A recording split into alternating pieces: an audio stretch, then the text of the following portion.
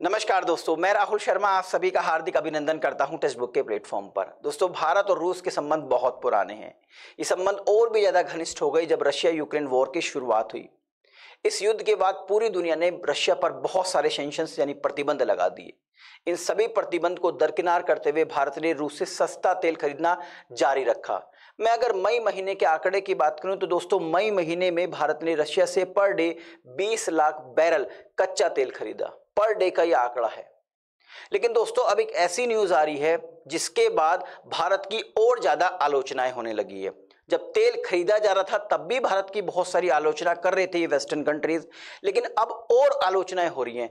अभी भारत ने डिसाइड नहीं किया, केवल एक प्लानिंग की है। और जैसे भारत ने प्लान किया, एक नई ट्रेड रशिया से हम करने की कोशिश कर रहे हैं, जिसके जैसे हमने प्लान किया, जैसे हमारी एक रिपोर्ट पब्लिश हुई, पूरी वेस्टर्न कंट्रीज़ में हाहाकार मच गया और उन्होंने आलोचना करनी भारत की शुरुआत कर दी।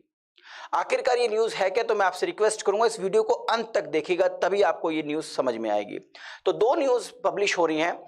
दोनों एक न्यूज़ है फ़र्स्ट पोस्ट ने पब्लिश की है इकोनॉमिक टाइम्स ने पब्लिश की है। फ़र्स्ट पोस्ट ने कहा कि भारत ये प्लान कर रहा है कि वो रशिया से नाइन मिलियन टन गेहूँ का निर्यात, यानी कि सॉरी आयात, यानी इंपोर्ट करेगा। और जबकि इकोनॉमिक्स टाइम्स ने यह कहा है कि भारत गेहूँ पर लगभग 40 प्रतिशत इंपोर्ट टैक्स घटाने की सोच रहा है। हटाने की सोच रहा है। तो जैसे ये दोनों न्यूज़ आई दोस्तों, पूरा का पूरा वेस्टर्न कंट्रीज़ में हाहाकार मच गया, उन्होंने भारत की आलोचना करनी शुरू कर दी।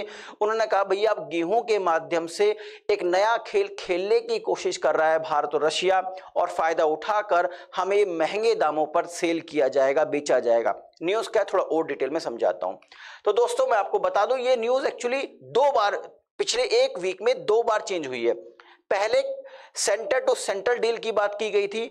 अब सेंटर टू सेंटर डील की बात नहीं है अब प्राइवेट कंपनी रशिया से गेहूँ खरीद सकती है। तो आखिरकार न्यूज़ क्या थोड़ा मैं बता देता हूँ आपको। बढ़ती कीमतों के मद्देनजर, क्योंकि भारत में गेहूँ का प्राइस बढ़ रहा है, के मद्देनजर घरेलू भंडार, यानी कि डोमेस्टिक रिज़र्व को बढ़ाने के लिए इंडिया समझौते के माध्यम से रूस से 9 मिलियन टन गेहूँ के आयात इंपोर्ट पर विचार कर रहा है। अभी केवल विचार कर रहा है, खरीदा नहीं है, केवल विचार कर रहा है। अगर खरीद लेगा तो तब तो क्या हाल होगा? अभी तो केवल विचार कर रहा है। मैं बता दूँ दोस्तों आपको, गेहूँ के अखिल भारतीय उपभोक्ता थोक मूल्य, जिसको इंग्लिश में कहते हैं the all India consumer wholesale price, में छह दशमलव दो प्रतिशत की वृद्धि देखी गई है, जो एक साल पहले के 2480 की तुलना में 2633 प्रति क्विंटल तक पहुँच गई है। यानी लगभग लगभग दो सौ रुपए जो थोड़ा गेहूँ हमारा महँगा हुआ पर क्विंटल। आपूर्ति बढ़ाने के लिए भारत गेहूँ पर 40 प्रतिशत आयात कर, यानी कि इंपोर्ट ड्यूटी में कटौती कर सकता है। यानी कि अब हम, अगर देखिए, गेहूँ के प्राइस बढ़ रहे हैं, उधर हमारा रिज़र्व भी कम हो रहा है तो फाइनली ये डिसाइड किया गया कि भाई नाइन मिलियन टन जो है रशिया से गेहूँ इंपोर्ट कर लेते हैं। अब जैसे ये न्यूज़ आई तो फिर हाहाकार मचना था वेस्टर्न कंट्रीज़ में, और थोड़ा अभी बताता हूँ। अब सवाल उठ रहा है कि भाई, पूरे वेस्टर्न कंट्रीज़ ये कह रही कि भाई, आप गेहूँ जो है, रशिया से ही क्यों इंपोर्ट कर रहे हैं? क्यों रशिया से भारत गेहूँ खरीद रहा है? तो मैं आपको कुछ फैक्ट कुछ आंकड़ा दिखाने की कोशिश करूँगा इस ग्राफ के माध्यम से। दोस्तों, पूरी दुनिया में जो टॉप प्रोड्यूसिंग कंट्रीज़ है वीट की तो उसमें नंबर एक पे आता है चाइना चाइना सबसे ज़्यादा गेहूँ प्रोड्यूस करता है। नंबर दो पे आता है इंडिया अब ये दोनों देश गेहूँ तो बहुत प्रोड्यूस करते हैं, लेकिन इन दोनों देशों की पॉपुलेशन बहुत ज़्यादा है तो ये गेहूँ भी बहुत ज़्यादा कंज्यूम करते हैं। तो नॉर्मली ये दोनों देश गेहूँ को ज़्यादा एक्सपोर्ट नहीं कर पाते। अब बात करते हैं रशिया की। रशिया थर्ड नंबर पर आता है, जो सबसे ज़्यादा गेहूँ प्रोड्यूस कर रहा है, तीसरे नंबर की पोजिशन पर आता है। अब पॉपुलेशन तो उसकी इतनी ज़्यादा है नहीं तो फाइनली इस गेहूँ को क्या करता है दोस्तों? एक्सपोर्ट करता है। तो अभी रशिया यूक्रेन वॉर के बाद जो एक्सपोर्ट पर बंदिशें लग गई रशिया के। गेहूँ अब आपको पता है रशिया यूक्रेन वॉर के बाद दोनों एक दूसरे के आ, एक दूसरे पर वार करने की कोशिश कर रहे हैं तो जिसका भी शिप जाता उसी को डिस्ट्रॉय कर देते तो फाइनली भारत ने अब डील करने की कोशिश कर रहा रशिया से कि आप हमें गेहूँ दे दीजिए।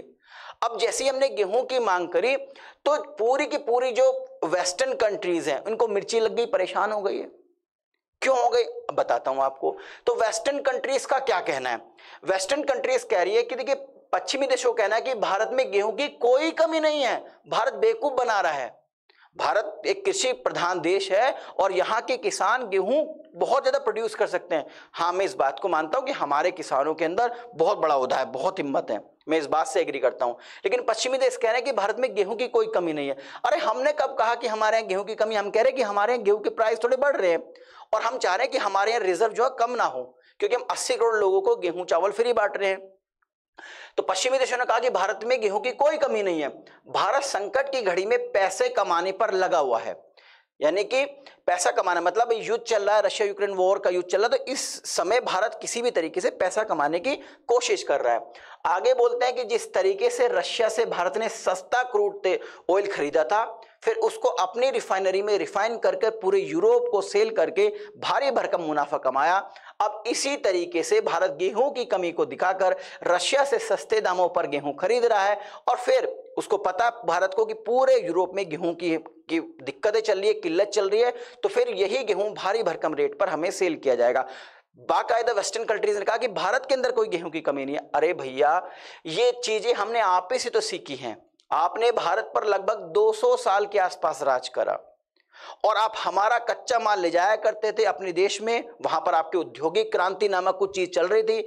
हमारे रॉ मेटेरियल को फाइनल गुड्स में आप कन्वर्ट करते थे, फिर हमारे ही उन्हीं गुड्स को हमारे देश में सेल कर कर हमारा जितना भी कुटीर उद्योग था उसको आपने ध्वस्त कर दिया। तो ये समय का चक्र है वेस्टर्न कंट्रीज़ को समझना चाहिए। कई बार आपका दिन था, कहीं की, कभी की दिन बढ़े, कभी की रात बढ़े। तो दोस्तों, समझ रहे हैं? तो इस तरीके से वेस्टर्न कंट्रीज़ जो है, वो पूरी भारत की आलोचना कर रही है, ठीक है? भारत के इस, जैसे भारत ने प्लान ही तो बनाया कि हम गेहूँ खरीदेंगे, अभी तो कुछ किया ही नहीं। पहले तो देखिए, भारत ने कहा कि हम सेंटर टू सेंटर डील करेंगे। तो पूरा हंगामा मचा। फिर बाद में एक रिपोर्ट हो रहा है कि भाई सेंटर टू सेंटर डील नहीं करेगा, यानी केंद्र सरकार नहीं खरीदेगा प्राइवेट कंपनी खरीद सकती है। तो कहा कि प्राइवेट कंपनी खरीदेंगी तो कंपनी खरीदेंगी, फिर इसको भारी भरकम मुनाफे पे दूसरे देशों को सेल करेंगी। अरे तो भाई, इसमें बुरा क्या है? तुमने भी तो यही किया, तुमसे भी तो यही सीखा है हमने। अगर कंट्रीज़ हमारे देश को मुनाफा हो रहा है तो इसमें बुरा क्या है? व्यापार का मतलब ही मुनाफा है। और हम तो स्पष्ट कह रहे हैं, हम कर रहे हैं व्यापार। हम आपसे तब नहीं डरे थे, आज नहीं डर रहे हैं। अगर हमें गेहूँ खरीदना होगा तो हम खरीद के दिखाएँगे। तो आई थिंक इस वीडियो के माध्यम से जो इन्फॉर्मेशन मैं आप तक पहुंचाना चाह रहा था, वो दोस्तों पहुँच गई होगी। जाने से पहले एक इन्फॉर्मेशन और दूँगा आपको रिगार्डिंग सुपर कोचिंग के निर्णय आई के बैच के बारे में। निर्णय आई के कुछ फीचर्स बता देता हूँ आपको दोस्तों। निर्णय आई एक सिंगल प्लेटफॉर्म है जो आपकी यूपीएससी टू की प्रिपरेशन करा रहा है। इसके ऑलरेडी कई बैचेस चल चुके हैं। मैं कुछ फीचर्स बताता हूँ आपको इसके।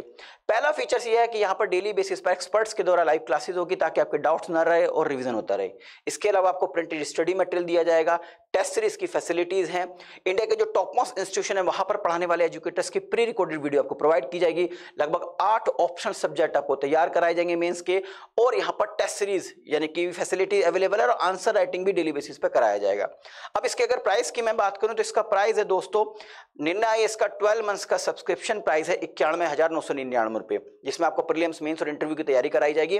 अगर दोस्तों में, अगर आप मेरा कूपन कोड आर शर्मा इस्तेमाल करते हैं तो आपको डिस्काउंट मिलेगा और आपकी फ़ीस हो जाएगी इकतालीस हज़ार दो सौ उनचास रुपए यानी इकतालीस हज़ार दो सौ उनचास रुपए में आप निर्णय आई बैच का सब्सक्रिप्शन ले सकते हैं। अब आप सोच रहे होंगे सब्सक्रिप्शन लूँ कैसे? तो इस वीडियो के डिस्क्रिप्शन में जाइए, वहाँ पर एक लिंक दी गई उस लिंक पर क्लिक कीजिए सिंपल से स्टेप्स को फॉलो कीजिए, मेरे कूपन कोड आर शर्मा का इस्तेमाल कीजिए और इकतालीस हज़ार दो सौ उनचास रुपए में आप निर्णय आई बैच का सब्सक्रिप्शन ले सकते हैं। तो जाने से पहले एक इन्फो एक रिक्वेस्ट और करूँगा मैं आपसे कि अगर आपने अभी तक हमारा चैनल सब्सक्राइब नहीं किया है तो इस चैनल को सब्सक्राइब ज़रूर कीजिएगा। बेल आइकन को प्रेस कीजिए, यानी जो भी मेरी वीडियो आए उसका नोटिफिकेशन आप तक पहुँचता रहे। वीडियो पसंद आई है तो लाइक कीजिए और ज़्यादा से ज़्यादा लोगों तक शेयर कीजिए, अपने व्हाट्सअप पर शेयर कीजिए। बहुत बहुत शुक्रिया आपका जुड़े रहने के लिए। नमस्कार, जय हिंद।